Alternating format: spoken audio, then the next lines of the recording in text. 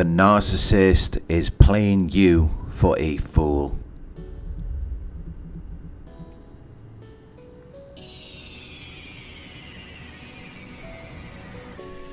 They're playing you for a fool. It may seem as though they're acting unwisely, as though they're ill advised or foolish, but they actually know exactly what they're doing. They know that they are playing you. They know that they're tricking and deceiving you. They're pulling the wool over your eyes. They're hiding the truth from you. But they put on a show. They make you believe that they're about something for real, when in reality they're not about anything. They created this false character which they displayed to you. They mirrored your interests and ideals. They reflected it back to you to make you think that they're real, when the reality is that they don't even exist. You're holding on to something which isn't even there, which is exactly what they want. Because then you're validating the illusion, which gives them supply. It gives them a thrill. Because then in that moment, it makes them feel like they are real. Like they do have something worthwhile.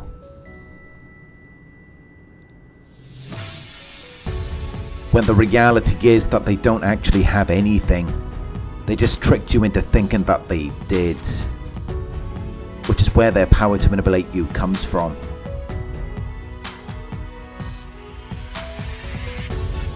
Their power comes from your belief.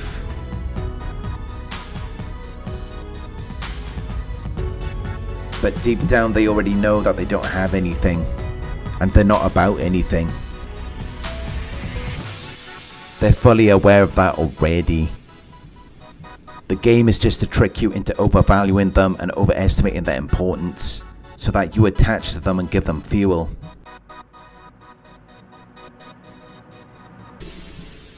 When the reality is that you're attaching to something that has no value. So you're only going to be left feeling disappointed and dissatisfied. Because they can't give you something that they don't have. So the best you will ever get from them is an illusion. Which is how it's so easy for them to devalue you and discard you. Because they already know that there's no future in something that started out as a game.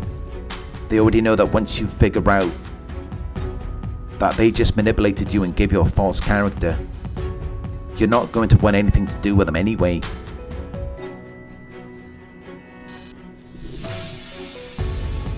You won't know when the narcissist is playing you for a fool. Because they can be very convincing.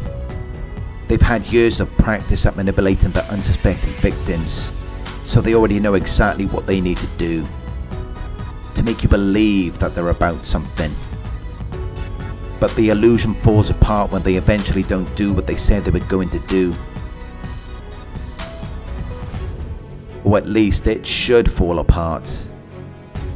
But many victims are so brainwashed by these narcissists that they begin to question themselves. They begin to question their own worth. And of course, the narcissist doesn't want to be exposed for the fraud that they are. So if you're going to willingly start questioning your own worth, they'll jump on the bandwagon. They'll join you and support you in that, even though they're actually just giving you another false character. They already recognize your worth. They already know that you're real and authentic. That's why they came around you in the first place. To rob you of your authentic qualities and virtues and to try to destroy everything that is good about you. But now that you have found my content, you should be more aware of when a narcissist is playing you for a fool. You should know that they are full of shit.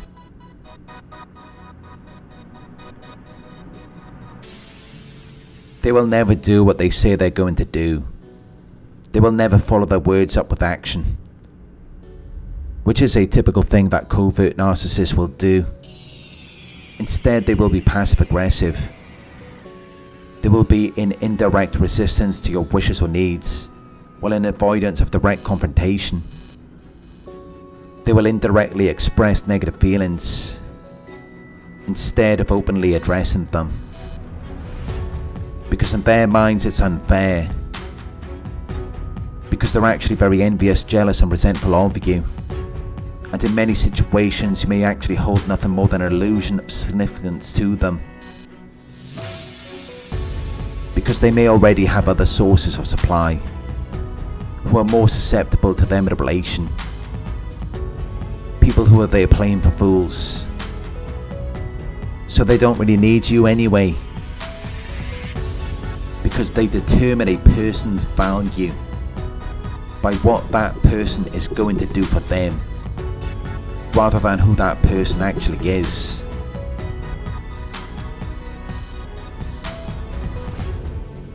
So if you start to catch on that they're deceiving you, you're just going to lose value in their eyes anyway. They're just going to see you as a lost cause and then they will deny, blame shift, project and gaslight you. Because they look at it like you're either going to play my game or you're not. And it's either their way or the highway. You either validate the illusion or you serve no useful purpose. Because they have no other purpose for people other than that. You're just a means to an end. And even if you do validate the illusion, that's the best you're going to get from them because all they have to offer you is an illusion. They expect you to see it as a privilege just to be around them, so it will only ever be a game. It will never be anything real, anything that's grounded in reality, because their power can only exist outside of reality, in your imagination, which is why they have to get inside your mind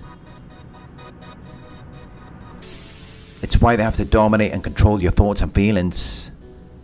And it's why nothing they say or imply will ever manifest into reality, because it was never real to begin with. It never stemmed from any genuine desire or interest, because they already know that they're not real. So by default all they can do is manipulate you. Which means that from the beginning, they're only going to see you as something temporary. As something that's only useful for as long as they can pull the wool over your eyes. Because after that, you're never going to see them the same way. And instead, you're going to keep your power to yourself. Which means that they will lose the ability to control you. Because their power comes from you. It comes from their ability to affect you. But they can only affect you if you believe in them and you will only believe in them if they can get you to detach from reality by overvaluing them and overestimating their importance, by assuming that they have something, or that they're going to do what they say they're going to do, which means that it's all in your mind. It has no basis in reality. Unless you choose to take action or do something with it because you're the only one who has the power in this situation. Which is why if you take a back seat and you take on a less important role or position, you're only going to be left feeling disappointed and dissatisfied because they lack the power to perform. Their power only comes from getting you to believe in something that isn't true or real. It doesn't come from anything that is actually grounded in reality. If it did, you never would have experienced any bad feelings. And then you would never have found my videos. Because when all is said and done, you're the one who is left to take on the authoritative role. The power will always return to where it belongs. To where it's supposed to be. Person who will not abuse it. The person who will do what they're actually supposed to do. Because it's the people who aren't narcissists who end up having to clean things up. They're the ones who are left to try to improve the situation by doing something that the narcissist has not done or completed. Because even if you confront them and you tell them that they're fake or full of shit, they're not going to own up to it. Because they already know that it would just leave them in a weaker and more vulnerable position. Since they don't even have the means to do what they said they were going to do. So all they can do is project it onto you to try to make you feel insecure. And they are masters of manipulation. They've had years of practice because it's the only way they knew to survive.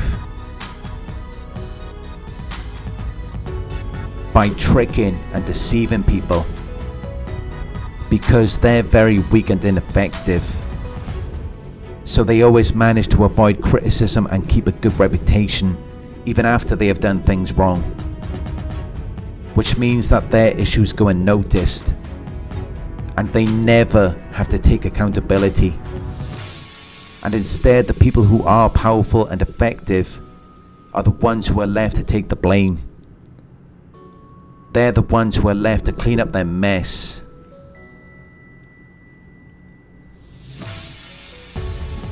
which means that we are essentially empowering the weakest and most ineffective people in our society while punishing and keeping down those who should be in a position of power. Because they're the ones who aren't going to misuse their power or use it for their own self-seeking motives.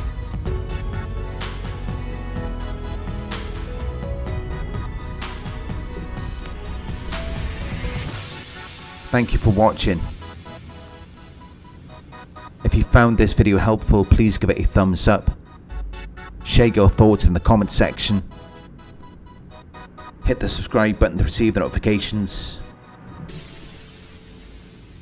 If you would like to support the channel, you can donate at paypal.me slash narcsurvivor. You can book a one-on-one -on -one with me on my website. It's narcsurvivor.co.uk. Thank you for watching and I'll talk to you soon.